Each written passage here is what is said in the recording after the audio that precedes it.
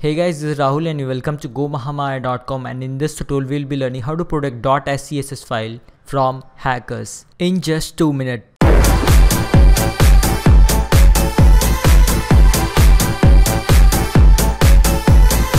And now once you are inside the cPanel, you have to scroll down and you have to find files. Click on files manager and now here you'll find various sets of options.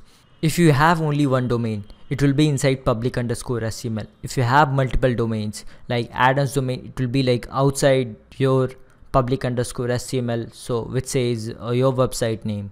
My website is inside public underscore HTML. So I'll click on that. And once you are inside public underscore HTML, here you'll find .htaccess file. If you could not find .htaccess, you have to click on setting and you have to click on show hidden files.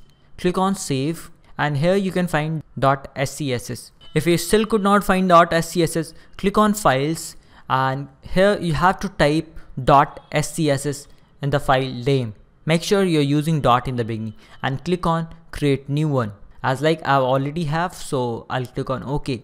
Now you have to select .htaccess and click edit and click on edit again. And you have to scroll down. And whatever the code is there you don't have to worry about that. Just skip all the codes and reach in the last and give some enter and paste the following code. It says prevent viewing of htaccess file. This is a comment and the file is .htaccess there are two kinds of order allow or deny. Deny from all. No one should able to access that. And ending of that file tag. Now i'll click on save changes and now bingo, your htaccess file is secure and no one will be able to access that. I hope you find this video useful. If you have any question or query, let me know in the comment section. If you haven't clicked subscribe, click on subscribe button for the more further updates.